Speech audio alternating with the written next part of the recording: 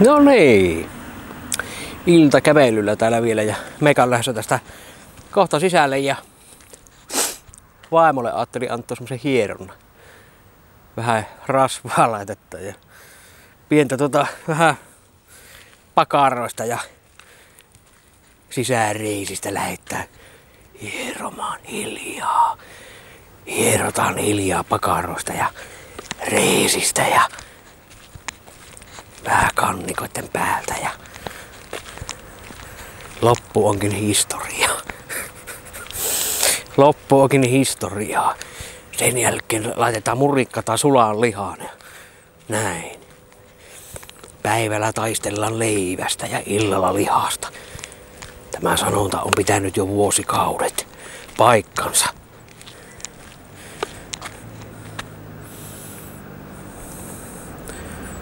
Ruvetaan kyntämään niin sanotusti. Ensi, ensin hieronta ja sen jälkeen ruvetaan kyntämään. Lihaa, lihaa, lihaa. Lihaa kynnetään koko sielun voimalla. Voimalla. Minkä minä eilen sain. Tuli lisää voimaa, kun Suomi pyöritti Ruotsi eilen, niin vittu sataan olla. Ei, kyllä se on niin, niin hyvä olo siitä vielä, että huhuu. Terveisiä vaan Ruotsi, että vittu opetelkaa, pe- opetelkaa pelaamaan. Ihan turha lähteä minnekään MM-kissan perkele, että opetelkaa pelaamaan. Tai eihän tätä nyt ruotsalaiset ymmärrä ymmärrä valitettavasti. Osasin minä kyllä tämän ruotsiksi sanoa, mutta tuskin tätä nyt ruotsalaiset kahtoo näitä minun videota. Niin. Ja tämän välistä pitäisi erikseen ehkä tehdä ruotsisvideo sitten. Että mitenkä sinä nyt kävi taas Ruotsin, Ruotsin pojalle. Ja näin.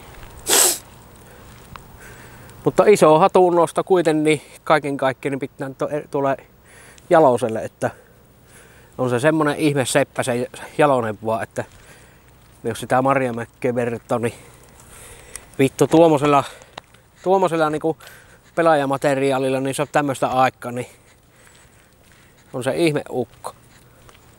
Ei siihen vittu mitään NHL-tähtiä tarvita. Tarvita, että mitä oli pelleihin mennyt. Olipa sitten minkälainen, niin kuin MM-kisat, niin olipa nyt minkälainen Skoda-kuppi tähän, että silti, kun niitä ruvettaa sitä pelaajamateriaalia kahtomaan, niin Ruotsilla kuitenkin oli maailmanluokan ukkoja siellä. Maalivahista lähti, niin kyllä se jos tuommoisella joukkueella semmosia pistää niin kuin sillä turppa, että ne ei perkele hyvä kuin omasta piestä pääsevät lähtemään, niin hyvä kuin omasta piestä pääsevät luistelemaan ne pois, niin kyllä se on ihme, ihme homma. Kovia tekoja.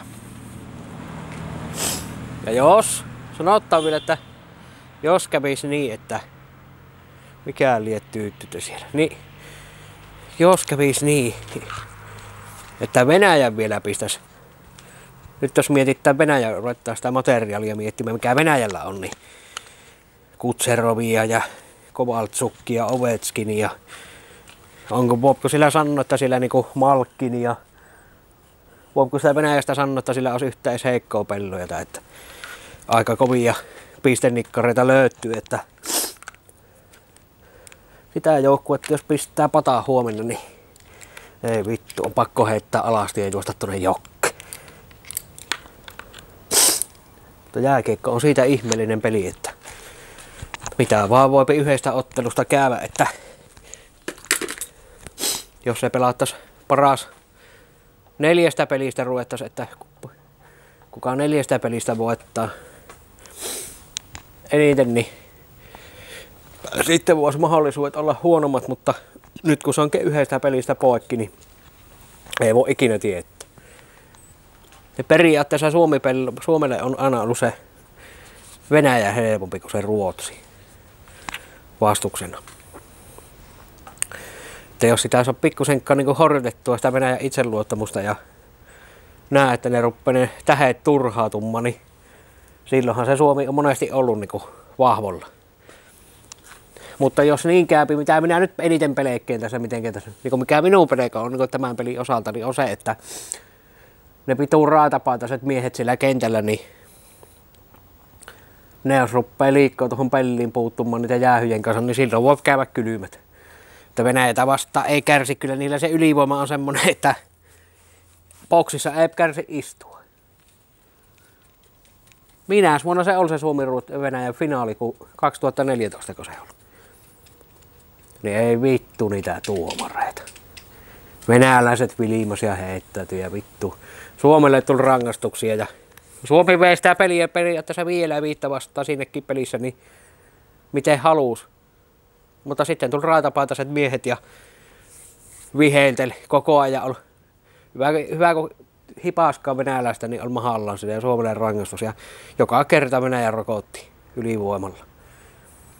Niin tuota, se on se pahin niin peleko, että ne pitu tuomarit, jos rupeaa hommoilemaan, niin se kumma, kun ne ei vittu tuolla tasolla ossa saatana. Mutta eilen nyt on periaatteessa hyvä, kyllähän siinäkin on niitä, että olisi pitänyt viheltää jäähyjä, mutta